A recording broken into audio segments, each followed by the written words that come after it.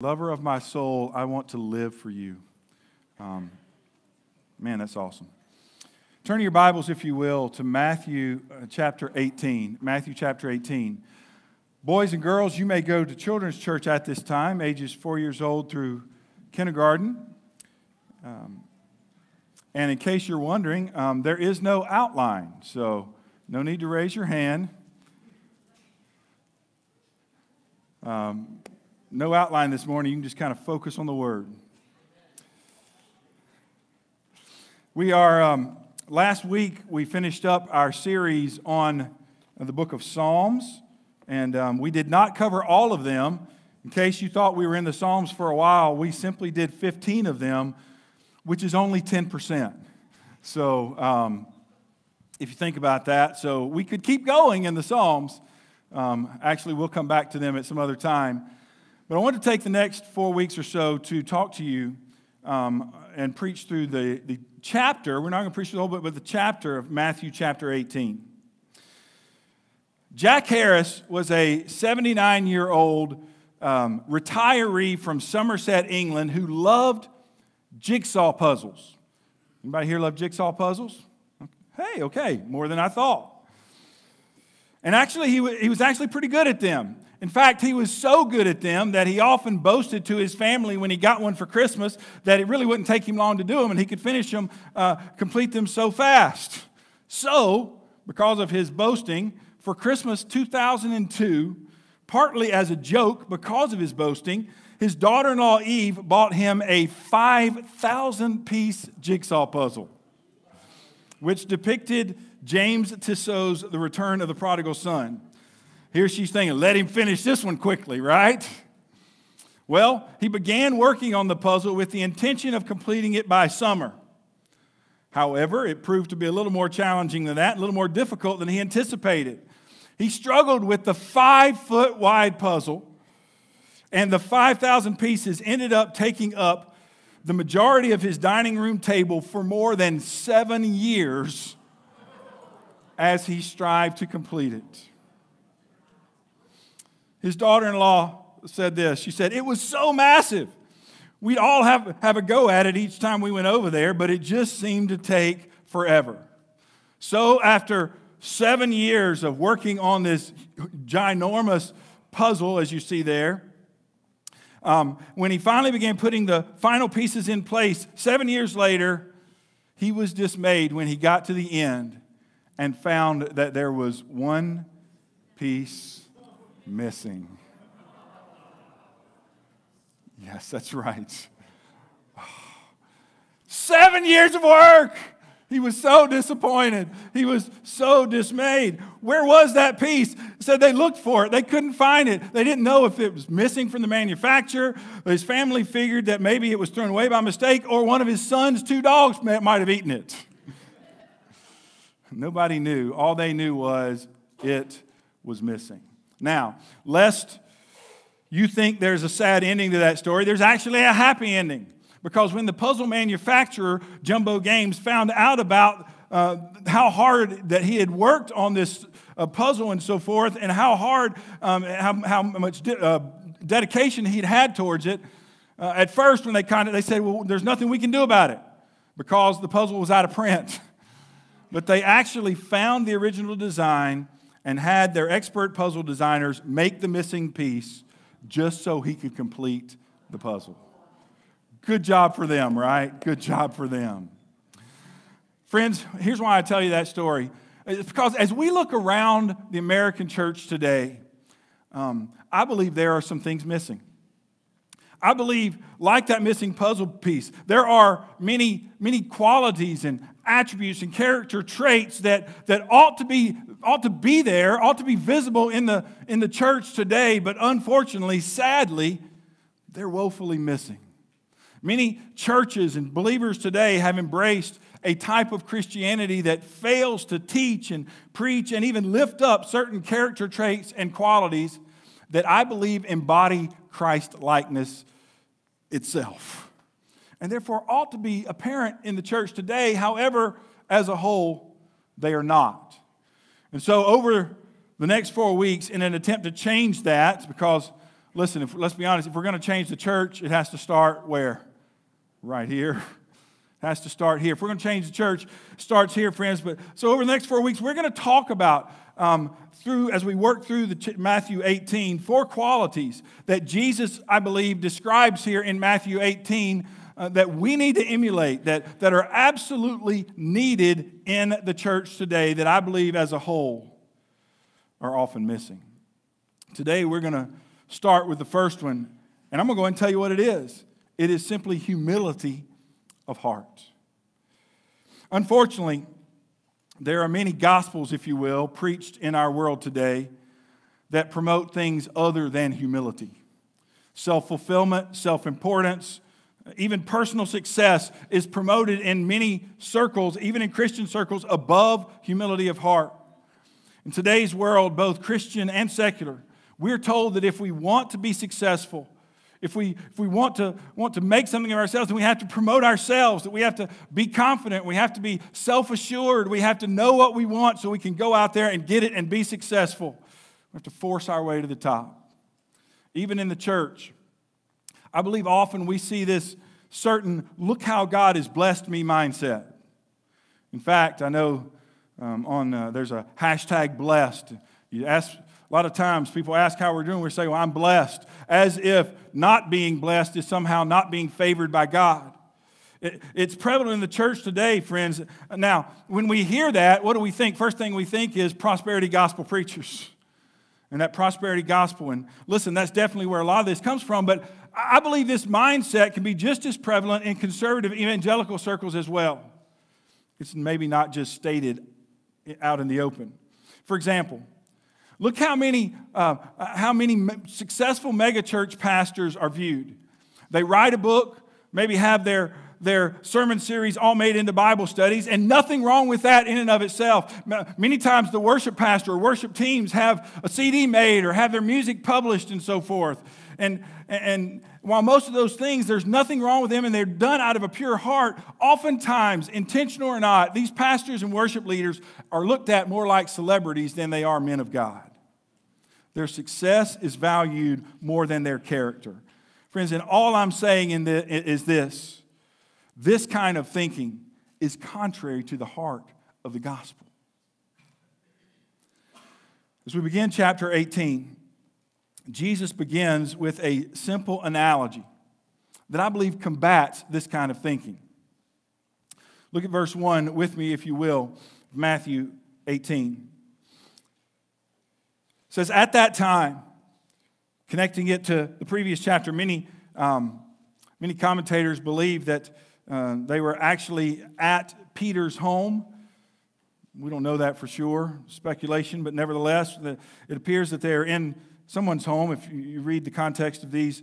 It says, At that time, the disciples came to Jesus saying, Who then is greatest in the kingdom of heaven? It's a question that the disciples had been arguing about among themselves. We learned from both the Gospel of Mark and the Gospel of Luke that, that this question most likely resulted from an, an ongoing argument that the 12 had had uh, among themselves. Who's greatest? Who's greatest? Who's going to sit at his right hand? And there are other instances throughout Scripture that, that these uh, questions come up. If you'll remember just a couple of chapters earlier, it was Peter's confession of Jesus as the Christ that Jesus said would be the foundation of the church. Listen, all throughout history, Peter has been lifted up to some uh, uh, higher standard than even, he, uh, even Scripture does. The disciples probably got that a little messed up as well. Uh, in chapter 17, Peter, along with James and John, had gotten to witness Jesus' transfiguration. So you can imagine how the others might have felt. What, you got to see? What? They're, as, as jealousy starts to creep in and spur arguments between them, as it does so often with all of us in our human mindset.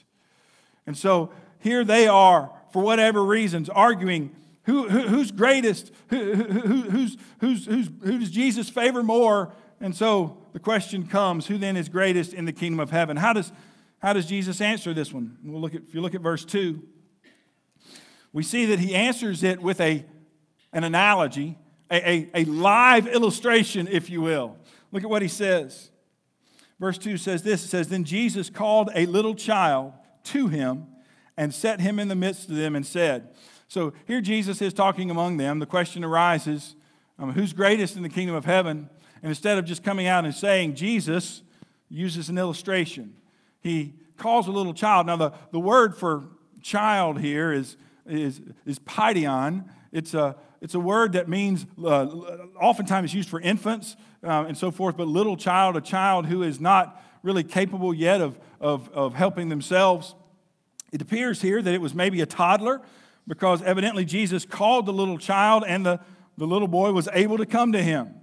He set him in the midst of them and said, Assuredly, I say to you, unless you are converted and become as little children. Here's his illustration. Here's this little child sitting among. Unless you become like this little child, you will by no means enter the kingdom of heaven. Friends, in answering this question, Jesus here is getting at the essence of really what it even means to be a Christian. Okay, when we come to Christ uh, for salvation, we don't come with all of our accolades. You know, many times when I'm talking to somebody about uh, putting their faith in Christ and trusting in Christ, um, there is they answer in something like this Well, Pastor, I would like to, but first, I need to do this. Or, or first, yeah, Pastor, well, when I get this together, then I. Listen, friends, we don't come to Christ for salvation with any accolades. We don't come with, with some list of, of, of stuff that we've done that, that's not what, what, what makes us valuable in God's eyes. What makes us valuable in God's eyes is simply that we come to Him, that we are His, that He has created us. Here, Jesus is speaking of a necessity that must take place in order for us to become, even be, become a Christian, to enter into the kingdom of God. And He says, unless you are converted, and become as little children, you will by no means enter the kingdom of heaven. The word converted here is the Greek word strepho, and it, it's a, it, it simply means to turn, to turn around, to, to, to turn from oneself. So, um, the word is translated in the New King James here, unless you are converted. I believe in some translations it's translated turn. So, unless you, you are turned, unless you turn and become like little children. Um, this language of turning and becoming like little children it is not something that is he's just talking about something on the outside um, the language speaks to the change in attitude of heart that jesus is calling us to it's it's not just an outer change but it's a, it's an inner change it's not it's not an intellectual thing whereby we simply assent to certain beliefs it's not a identification thing where we simply call ourselves such or we now identify as a Christian. It's not an, an action where we must do certain things, friends. It's an inner change that must take place in response to what God has done for us. It's not a new paint job, you know. Uh, I've driven cars around that needed a new paint job, right? Um, sometimes we may look at ourselves in the mirror and we think, I need a new paint job, right? It, it's not a new paint, it's not an exterior thing, it's not it's not that we just need to have some body work done. You know, fixing up the outside while, while, no, that's not it, friends. It's not, it's not that we just need some new tires. It is the fact that we need our engine replaced. We need, we need the change uh, that needs to take place is on the inside of us. And God, we need to allow God to change our heart. It's, it's a spiritual change that must take place. Because naturally, out of the womb, we all have a problem. Who's on the throne of your heart naturally? We are, right? We're on the throne of our heart. We like to do what we want to do. And, and we're naturally uh, averse to allowing anyone or anything else to be the boss of our lives. Our hearts are, are naturally hard, they're naturally rebellious, they're naturally self centered. That's why, you know, uh, when you hear the, the, the, the term survival of the fittest. Uh, there's actually some truth to that concept because, listen, we all naturally work towards self preservation. We all naturally are just simply trying to survive in this old evil world. The problem is that that attitude also makes us arrogant and prideful and self absorbed at times. And let's be honest, sometimes difficult to get along with. Amen? Friends, that's why Jesus says here that in order to be a part of his kingdom, in order to enter the kingdom, we must be willing to turn from that, to turn from that, that self centered, self righteous, us on the throne of our lives attitude, and we need to be willing to allow Him to be on the throne of our lives. We need to humble ourselves. We need to be willing to become like a little child. The question is, what does that mean? What does it mean to become like a little mean we need to be childish. We need to be childish in our. No, that's not what it's talking about at all. Look at verse 4. In case we don't get the analogy, Jesus takes it one more step here in verse 4. He says, Therever, Therefore, excuse me, whoever humbles himself as this little child is the greatest in the kingdom of heaven. It's not the one who climbs to the top. It's not the one who does great things in the name of the Lord. It's not the one who thinks they are something or gets a book, any of that kind of stuff. That's not it. Friends, uh, the word humble simply means to make low. It, is, it means that we don't put ourselves first. It means we have a heart like Jesus had. Amen. Philippians chapter 2 says, Let this mind be in you, which was also in Christ Jesus, who, being in the very form of God, did not consider it robbery to be equal with God, but made himself of no reputation, taking on the form of a bondservant going to the cross and sacrificing himself on the cross for us. Friends, Jesus, being, being God, did not consider the, his godhood something that he couldn't set aside for a while, but he was willing to humble himself. Think about that. As part of the Godhead, he was willing to come and think about how he was treated, just in his normal everyday, not, not even when he got to the cross, but just. And here, we are called to do the same. We are called to, to have an attitude that is not too high of ourselves. We are called to have an attitude that's, that, that's we're not trying to prove something. We're called to have an attitude where we're not trying to promote ourselves or not trying to work up the confidence in ourselves, friends, but it, I think being humble is being willing to admit our own inadequacies, being willing to admit our need for God. If you think about what's the biggest characteristic of a little child, of what Jesus is bringing out here, I believe it's the fact of simply that a small child, a little child, an infant, as I know several of you have recently had new babies, a toddler. Um, listen, when they get to be teenagers, they think they can do everything, right?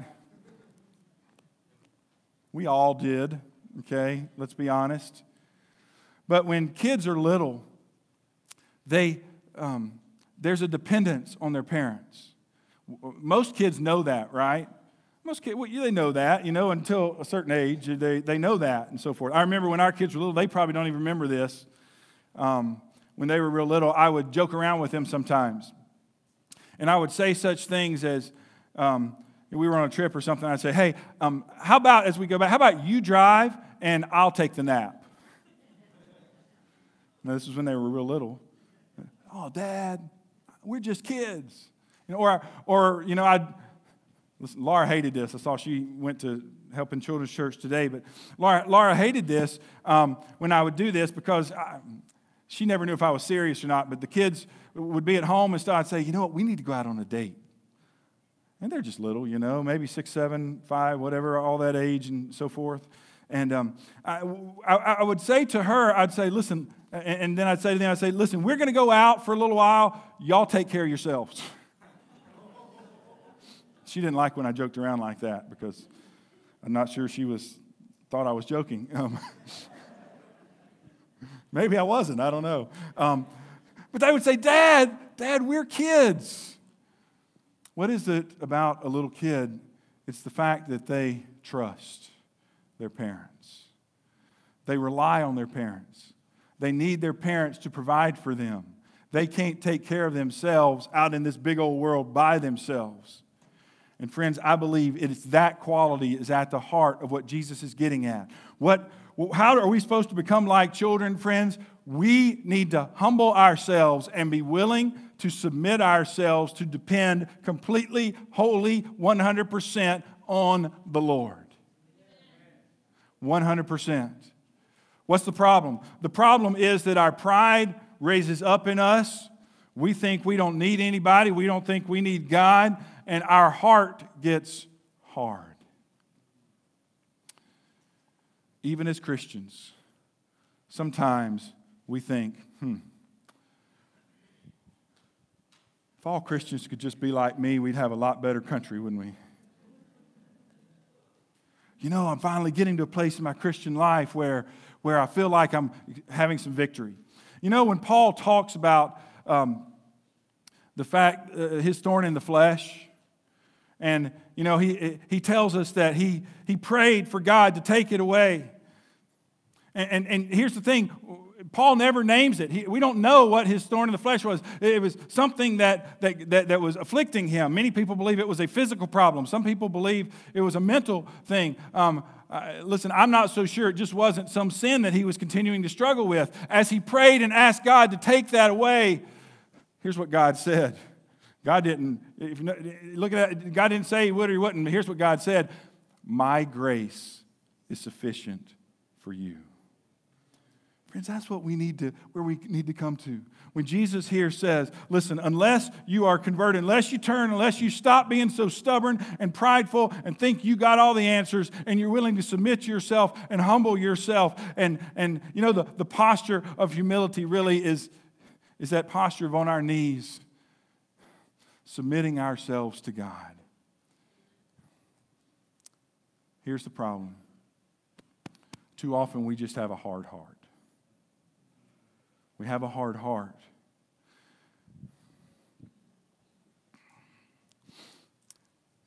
You know, if you ever go over to the sink, grab the sponge to wipe off the countertop. If you just grab the sponge and start wiping, it's not going to work too well. Why not? Because the sponge is hard. It's hard because it's, it's sat there and it's been out of the water and it's dried out and it's gotten hard and crusty. And in order for the sponge to become useful again, what do you have to do? Simply put it in water.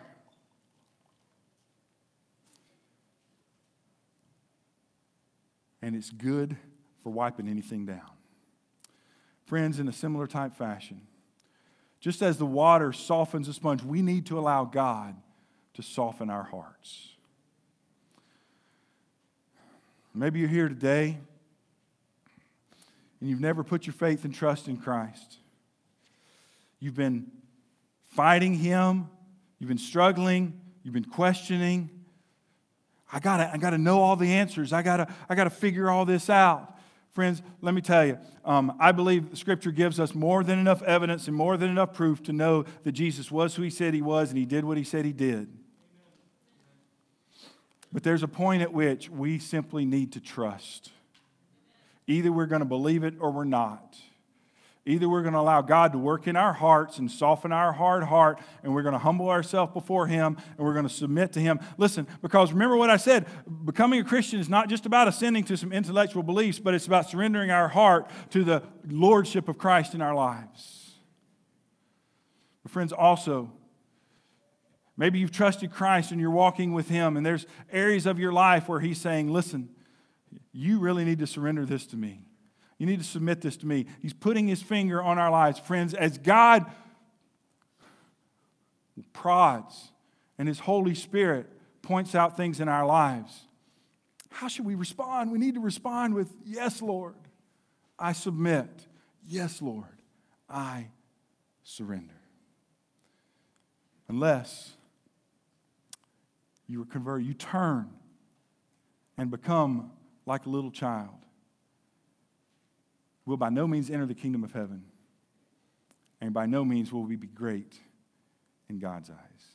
Friends, greatness comes through submission and surrender to Him. Let's pray.